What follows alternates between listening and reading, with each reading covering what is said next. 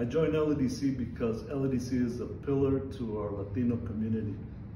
An organization that focuses on supporting entrepreneurs and small businesses is the type of organization I wanted to be a part of.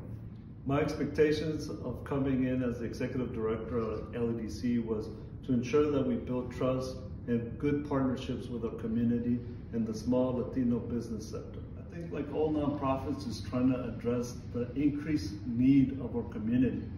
During the pandemic, we saw a, a significant growth of need from us to our small business community. But I'm happy to say that we also received a lot of support from volunteers and even from our funders. The last three years, we have grown, and I would like to continue to grow access to affordable capital to small businesses across the state that are owned by Latinos.